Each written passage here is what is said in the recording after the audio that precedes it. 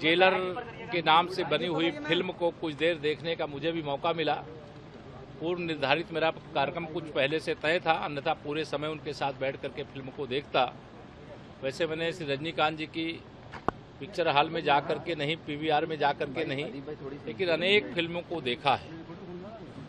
उनकी ऐसी प्रतिभा है अभिनय की कि किसी भी फ़िल्म में अगर कुछ उसके अंदर दिखाने लायक भी ना हो तो उनकी ऐसी प्रतिभा है कि वो अपनी प्रतिभा से उस फ़िल्म का महत्व तो बढ़ा देते हैं। और जेलर नाम की यह फ़िल्म का जो मैंने थोड़ा सा शुरुआती हिस्सा देखा है वो अभी बहुत मुझे अच्छा लगा। मन था कि पूरे समय बैठ करके देखूँ।